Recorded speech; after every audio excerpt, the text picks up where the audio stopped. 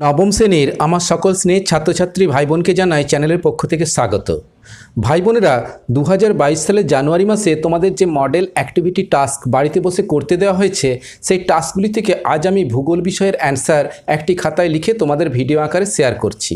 তোমরা ভিডিওটি স্কিপ না করে প্রথম থেকে শেষ পর্যন্ত দেখো, প্রশ্নের উত্তরগুলো মনে রাখো এবং খাতায় টুকে নিয়ে বিদ্যালয়ে সংশ্লিষ্ট বিষয় শিক্ষক, শিক্ষিকার নিকট জমা দেবে। দেখো, এবারে তোমাদের যে টাস্কটি দেওয়া হয়েছে, তার পূর্ণমান রাখা হয়েছে কুড়ি। একের দাগে বলা হয়েছে, বিকল্পগুলি থেকে ঠিক উত্তরটি নির্বাচন করে লেখো। তিনটি প্রশ্ন দেওয়া রয়েছে, প্রত্যেকটি প্রশ্নের মান আছে এক। বিকল্পধর্মী অর্থাৎ এমসিকিউ টাইপের প্রশ্ন। এক দশমিক একে বলা হয়েছে, উত্তর মেরুতে ধ্রুবতারার উন্নতি কোণ হল, এখানে চারটি অপশন দেওয়া রয়েছে। এই চারটি অপশনের মধ্যে সঠিক উত্তরটি লিখবে তোমরা, অপশন নাম্বার গ, নব্বই ডিগ্রি। এক দশমিক দুইয়ের দাগের প্রশ্নে বলা হয়েছে, যে অক্ষরেখায় পৃথিবীর অভিকর্ষ বলের মান সর্বনিম্ন, তা হল, এখানেও চারটি অপশন দেওয়া রয়েছে, এই উত্তরটি লিখবে, অপশন নাম্বার ক, নিরক্ষরেখা। এক দশমিক তিনের দাগে বলা হয়েছে, ঠিক জোড়াটি নির্বাচন করো। এখানে দেখো, চারটি জোড়া দেওয়া আছে, তার মধ্যে সঠিক উত্তরটি হবে, অপশন নাম্বার খ, সাবমেরিন চালনা জিপিএস। অর্থাৎ সাবমেরিনে জিপিএস ব্যবহার করা হয়। এই জোড়াটা সঠিক। দুই দশমিক একে বলা হয়েছে, উপযুক্ত শব্দ বসিয়ে শূন্যস্থান পূরণ করো। এখানে দুটি প্রশ্ন দেওয়া রয়েছে, প্রত্যেকটির মান হচ্ছে এক। প্রথমে আছে, সৌরজগতের আটটি গ্রহের মধ্যে ড্যাশ গ্রহের ঘনত্ব সর্বাধিক। এই উত্তরটা লিখবে তোমরা, পৃথিবী। পৃথিবী গ্রহের ঘনত্ব সর্বাধিক। নেক্সট আছে, পৃথিবীর পরিধি প্রথম নির্ণয় করেন গ্রিক পণ্ডিত ড্যাশ। এই শূন্যস্থানে লিখবে অ্যারাটোস্থেনিস।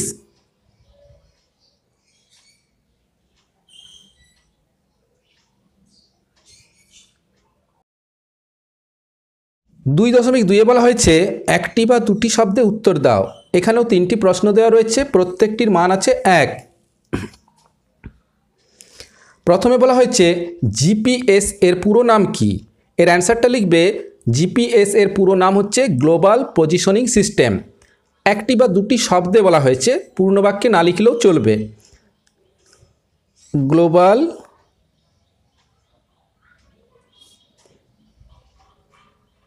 positioning system. পরের দাগে আছে, পৃথিবীর মেরু ব্যাস কত কিলোমিটার? এর উত্তরটা লিখবে বারো হাজার সাতশো চোদ্দ কিমি।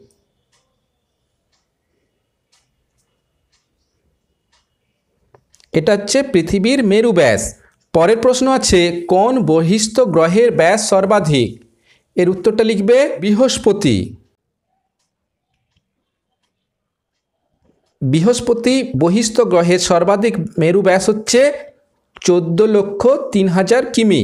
চোদ্দ লক্ষ তিন হাজার কিমি। তিনের দাগে বলা হয়েছে, নিচের প্রশ্নগুলি সংক্ষিপ্ত উত্তর দাও। দুটি প্রশ্ন দেওয়া আছে, প্রত্যেকটির মান আছে দুই। তিন দশমিক একের প্রশ্নে বলা হয়েছে, সৌরজগতের অন্তস্থ ও বহিস্থ গ্রহগুলির মধ্যে দুটি পার্থক্য লেখো। তো তোমরা এরকম একটা ছকের মধ্যে পার্থক্যটা লিখে দেখাবে। একদিকে বিষয় লিখবে, অন্তস্থ গ্রহ আর বহিস্থ গ্রহ। কি বিষয়ে পার্থক্যটা লিখছ? প্রথমে অবস্থান বিষয়ে পার্থক্য দেখাচ্ছি, সেখানে লিখবে সৌরজগতের অন্তস্থ, অর্থাৎ সূর্যের নিকটবর্তী গ্রহগুলি, যথা বুধ, শুক্র, পৃথিবী, মঙ্গল, এরা কাছাকাছি অবস্থান করে। অপরদিকে লিখবে, সৌরজগতের বহিস্থ, অর্থাৎ সূর্য থেকে দূরবর্তী গ্রহগুলি, যেমন বৃহস্পতি, শনি, ইউরেনাস, নেপচুন, এরা তুলনামূলক দূরে অবস্থান করে। পরের বিষয়ে লিখবে আকৃতি।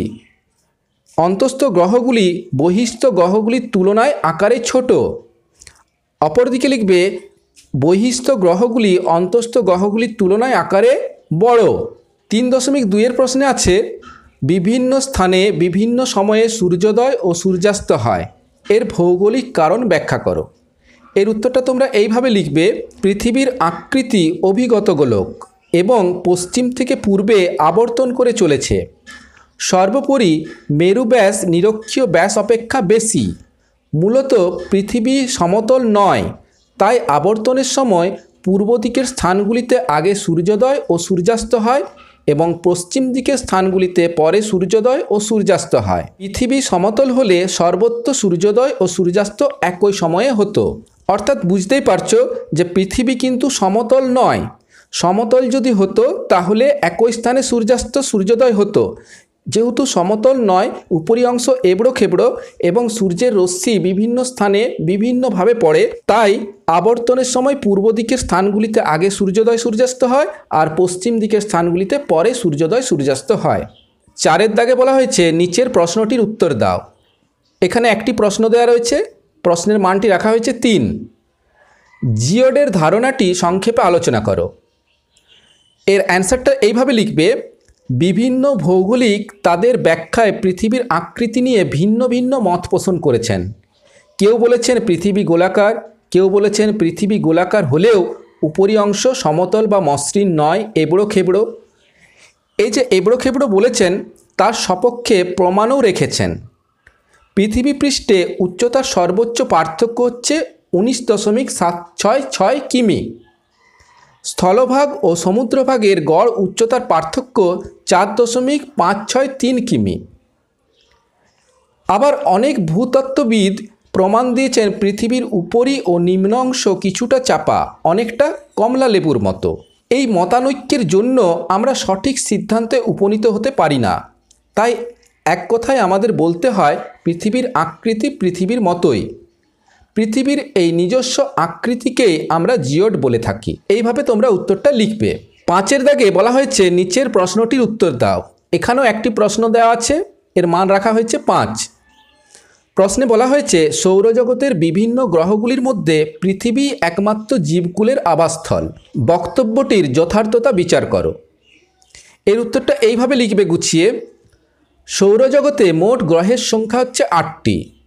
অনুমান করা যায় যে একমাত্র পৃথিবী ব্যতীত বাকি গ্রহগুলিতে প্রাণের অস্তিত্ব নেই। কেবলমাত্র পৃথিবী গ্রহেই প্রাণের স্পন্দন রয়েছে। প্রশ্নানুযায়ী, পৃথিবী একমাত্র জীবকুলের আবাসস্থল।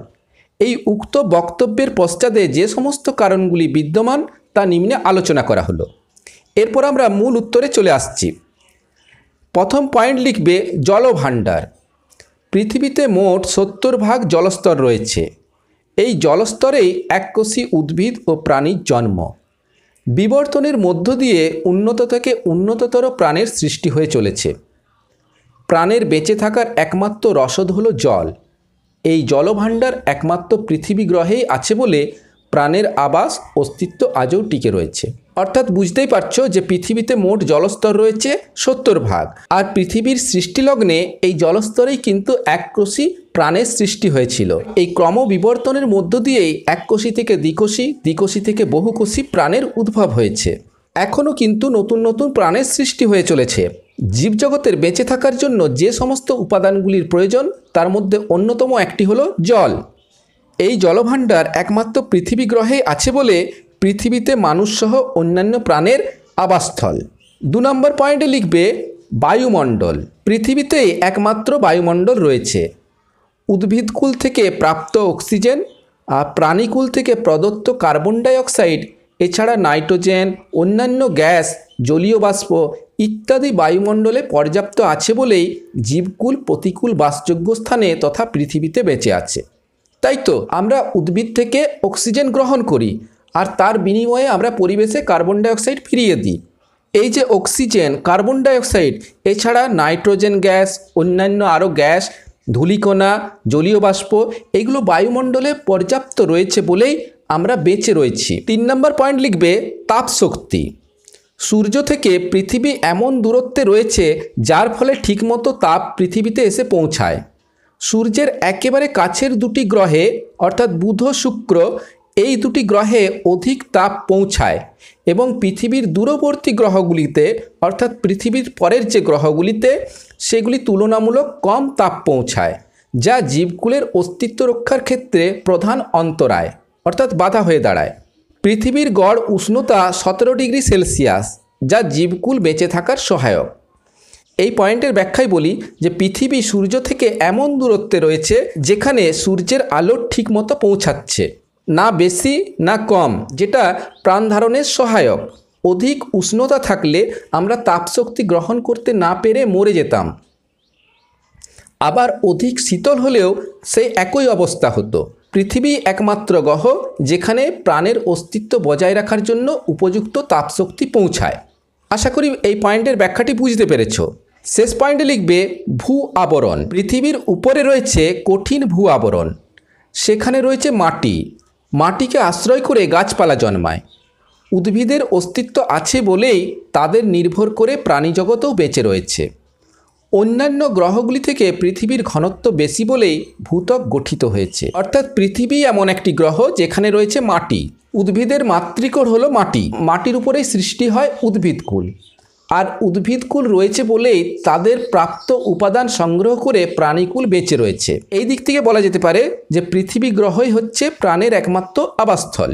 শেষে কনক্লুশনে লিখবে, প্রকৃতির ফসল বা সন্তান রূপে যে প্রোডাক্ট অফ আর্থ সমস্ত জীবকুলের আবাসস্থল পৃথিবী একমাত্র গ্রহ, তা উপরোক্ত কারণগুলির নিরিখে সর্বজন স্বীকৃত উপরে যে সমস্ত কারণগুলি আমরা এতক্ষণ আলোচনা করলাম, সেই কারণগুলি এক বাক্যে আমরা স্বীকার করে নিতে পারি। আশা করি ভাই বোনেরা উত্তরগুলো বুঝতে পেরেছ। তোমাদের ভিডিওটি কেমন লাগল আমাকে কমেন্ট লিখে জানাবে, আর ভালো লাগলে একটি লাইক করে দিয়ে বন্ধুদের শেয়ার করে দিও। আজ চ্যানেলে তুমি যদি নতুন হয়ে থাকো, তাহলে চ্যানেলটি সাবস্ক্রাইব করে নিও। সাবস্ক্রাইব করতে হলে নিচে যে লাল রঙের সাবস্ক্রাইব লেখাটি রয়েছে, ওটি ছুঁয়ে দিয়ে পাশে ভেসে ওঠা ঘণ্টা চিহ্নটি বাজিয়ে অল অপশানটি সিলেক্ট করে রাখো। কারণ তোমাদের পরবর্তীতে যত মডেল অ্যাক্টিভিটি টাস্ক দেওয়া হবে, তার উত্তর সমাধান খাতায় লিখে ভিডিও আকারে শেয়ার করব। সেই ভিডিওর নোটিফিকেশান তুমি সবার আগে পেয়ে যাবে। আর যারা অলরেডি চ্যানেলটি সাবস্ক্রাইব করে নিয়েছো, তাদেরকে জানাই আন্তরিক ধন্যবাদ।